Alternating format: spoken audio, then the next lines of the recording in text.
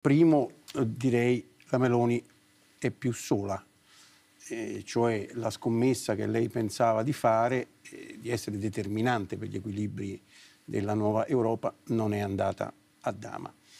Il che non significa che la partita sia chiusa, però, attenzione, perché è vero che l'accordo c'è, è stato fatto, eh, è un accordo secondo me un po' frettoloso. Diciamo, questo accordo si chiama Francia, si chiama elezioni eh, francesi del 30 e del 7 e quindi c'è la fretta di chiudere questa cosa prima che a Macron arrivi presumibilmente uh, una, una, notizia pessima, cioè di dover convivere con Bardellà uh, per gli anni che verranno. Insomma, Bardellà, per chi non lo sapesse, è il frontrunner della destra lepenista, accreditato nei sondaggi, è una plausibile vittoria elettorale alle legislative che si stanno per fare. Questo però secondo me comporta anche qualche considerazione sull'Europa che si sta facendo. Mi domando, ha senso questa dimensione di torre d'avorio in cui si chiude dentro l'Europa prescindendo, lo so che ci sono i numeri, ma prescindendo quasi completamente, quasi ideologicamente dai risultati delle elezioni europee nei due più grandi paesi, cioè in Francia e in Germania.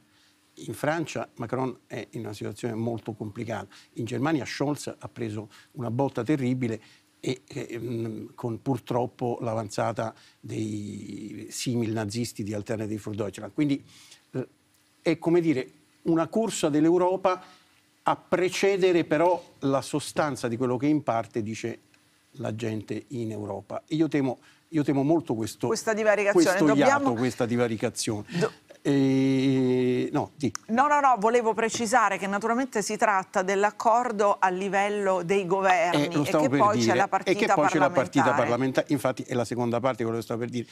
I numeri dicono che i popolari, i socialisti e i liberali hanno 399 voti, leggo, eh che però la maggioranza è 361 e che però devi considerare un 10-15% fisiologico di franchi tiratori. Quindi non ci siamo completamente, la von der Leyen non è al sicuro nel voto all'Europarlamento. Cosa, fa- cosa può fare per mettersi al sicuro? Aprire ai Verdi di qua o alla Meloni di là, o a tutti e due, o ai Verdi e un po' sotto banco alla Meloni, può darsi. I Verdi chiedono cose, chiedono che il Green Deal continui, venga rafforzato, cosa non completamente in linea con quello che sembra dover fare l'Europa rispetto agli armamenti, rispetto a una serie di scelte finanziarie che verranno. La Meloni cosa chiede? Probabilmente chiede ciò che sa di poter già ottenere, cioè una commissione. Un commissario un, di, un, di... un commissario che tanto le darebbero comunque per poter dire di aver ottenuto un commissario. Quindi io credo che probabilmente strapperà in Consiglio e voterà in Europarlamento dopo essersi messo, messa d'accordo con la von der Leyen. Stefano Feltri, eh, sei d'accordo con questa lettura? E poi mi sembra ci sia la questione politica di fondo, un patto di questo tipo eh, che esclude la destra tradisce in qualche modo il risultato elettorale?